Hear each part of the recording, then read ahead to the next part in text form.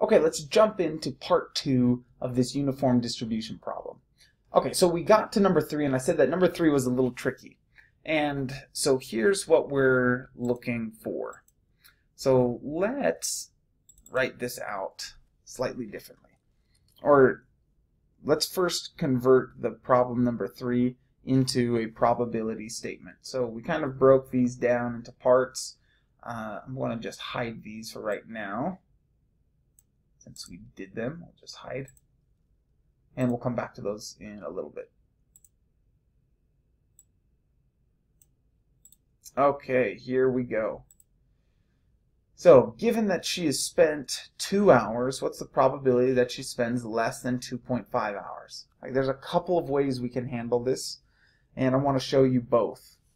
So this is for part three. Here we go. So, what we're saying is that the probability that she spends um, less than 2.5 hours, so our discrete random variable is less than 2.5, given, remember this, uh, this is coming back from a couple weeks ago, given that x is actually greater than 2. So we already know that she spent 2 hours, so we know that the amount of time that she's going to spend on the case is going to be greater than 2 hours. And we want to know what's the probability now that it's going to be less than 2.5. Okay, so we need to keep on writing this out. So if we remember, we could say that this is equal to, okay, the probability of being greater than, here, we'll write this out, that x being less than 2.5 and intersect that x is going to be uh, greater than 2. So we need to know where they intersect, where both of those occur at the same time. And then we can divide by, okay, what is the probability that, uh, oh, of x being greater than, of our random variable being greater than 2. Okay, so this will help us out and kind of let us know what we need to get together. So the first thing that I'm going to do is we're going to get do this in two pieces. Oops. Oh no. Hold on. Oh, I deleted it all. Well, give me just a second and I will get this all put back together. Hit escape too soon.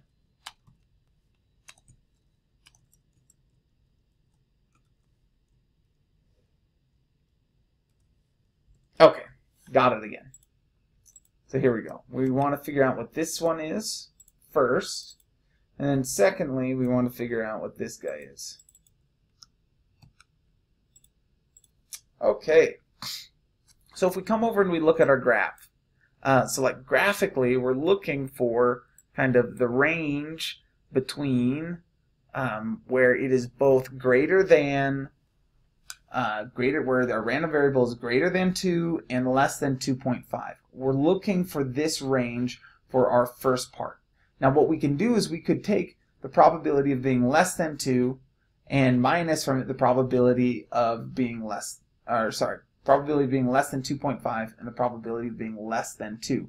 That'll give us this range, which is what we're looking for, the probability of being less than 2.5 and greater than 2. Let me, let me see if I can't shade this again. Let's go back to distributions and we'll go to our uniform uniform plot. There we go. And I'm looking for from 2 to 2.5. Let's do a better color than this. Sure. Okay. And okay. Alright, so my titles are messed up again, but uh, don't worry about it. Okay, so here we go. So now check this out. This is what we're looking for. This is where we are both less than 2.5 and greater than 2. We need to figure out this probability. And I suggest that what we do is we find the probability of being less than 2.5 and then subtract off the probability of being less than 2 and that'll give us our intersection. So let's do it. Let's go distributions. Go back to the uniform. Let's go to probabilities. Okay, and we can put in 0.75 and 0.4. Now the lower tail says we want the probabilities of being less than a given value. So we can actually just put in numbers here. 2, comma, 2.5. And let's click OK. Let's go back over to RStudio. Okay, so we've got 2.5. We want to copy that, and we're just going to subtract from that the probability of being less than 2. So however you, the order that you input your numbers here, I had 2 and then 2.5, that's going to be the order of the probabilities that are given. And I'm just going to hit enter, and I get like a 15-ish percent. We look at this range and we're like, yeah, sure, that looks roughly 15-ish. Awesome. So I'm going to copy that. And here I'm just I'm just going to paste that value. Oh, sorry, wrong spot. We'll drag this one down. Alright, so we've got the first part done. Second part, we need to know what's the probability of the discrete random variable being greater than 2. Well, we've got less than 2 here, so we could do 1 minus this probability. That's an option that we could do. Or we could go to just back to our distribution, uniform, probabilities. Could just tell it, okay, we want 2, but this time we want an upper tail. We want greater than. Click OK and check it out. We got the same thing both ways. So I'm just going to copy this guy and paste it in here. Now we're ready to answer this big question. Or we can now divide these two by each other. Okay, now I'm just going to say equals probability of being both divided by probability of being greater than 2 is we get roughly 25%. Okay, so let's see if that also works with another method. All right, so follow me.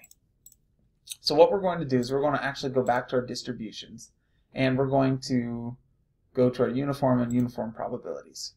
Okay, so what I'm going to propose is that we do something a little bit different. And what we're going to do, let me actually round these. Let's go number, we're going to round to our four decimal places.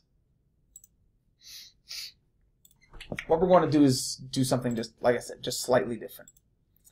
Here's what we're going to do we are going to instead say, given that we have been waiting for two hours. So we're really just changing the bottom of our uniform distribution. So I'm going to say instead of the bottom being 0.75, I'm going to say that it's 2. And I'm going to say what's the probability that we wait less than 2.5 hours. I want this lower tail. And now I can just click OK. And it gives us 0.25. Now, if you notice, okay, when we round to four decimal places, we get 0.25. When we actually, when you drag numbers over from R command or from RStudio into Excel, sometimes you'll get some very small rounding errors, but rounding to four decimal places, you should be the same. So if you want to double, double check that, what you can do is say equals, we can copy this guy, and we can copy this guy. Oh, I guess, hold on, this is RStudio, we don't need equals we can hit enter. And yep from once again we had this little bit of rounding error. Um, but when we round to four decimal places we're going to be the same. This is why we round to four decimal places so that even when we have tiny tiny tiny rounding errors we're actually okay. Either way works just fine. You can go back to the original method. I'd probably use this new one. I think it's a little easier to understand. Um, so this would be the probability that given that she's already spent two hours, what's the probability that she spends less than two and a half? Anyways, I hope that that helps.